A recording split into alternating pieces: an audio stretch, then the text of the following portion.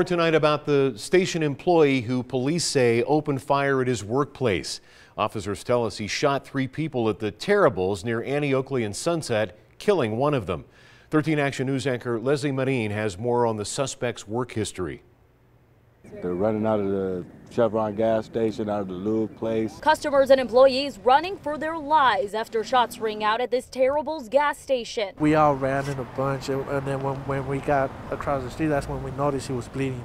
An employee who did not want to be named says he helped one of the three victims to safety. One of the guys that worked at the lube shop, he was bleeding. Both men running to a nearby medical supply store where a worker there was able to stop the victim's bleeding. I hope the, the person we helped out is okay too. That was real scary, man. Back at the gas station, police quickly arresting 22-year-old Rafael Valdez, a current employee at the Terribles.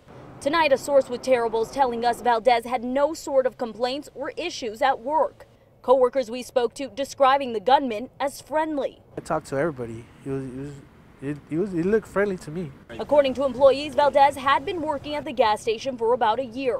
Some employees say he faced bullying at work, but sources say it was never mentioned to a manager. Tonight, workers at the gas station mourning the loss of one of their own as investigators try to figure out what could have led Valdez to snap. I never thought he would do something like this.